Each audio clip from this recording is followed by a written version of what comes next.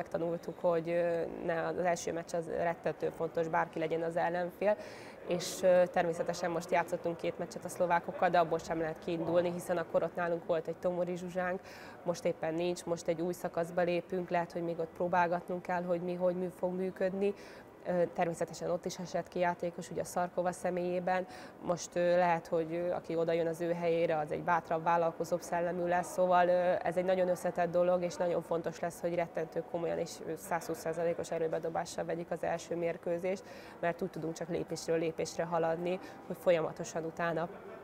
pozitív szemlélettel, ugye nagy önbizalomat tudjunk tovább menni lép napról napra. Ugye azért két naponta lesznek mérkőzéseink, és nagyon fontos úgy gondolom, hogy az indulásnál, hogy ott milyen szájízzel kezdjük el az egészet. A csoportunkban a, szerintem a legkeményebb ellenfél, ezt mindenki tudja, hogy a németek, és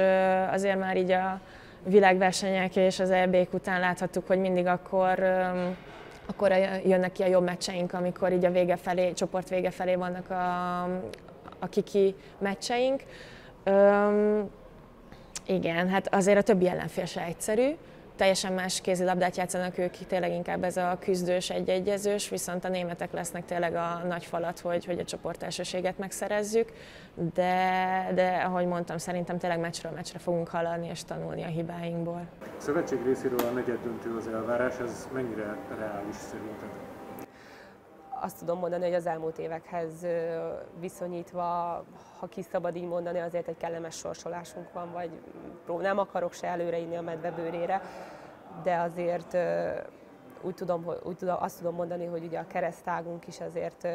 eléggé jó, és hogy itt mindenképpen, ahogy a szövetség természetesen elvárásokat tesz elénk, de nekünk is ugyanez a célunk, hogy minél tovább kint marad Spanyolországba.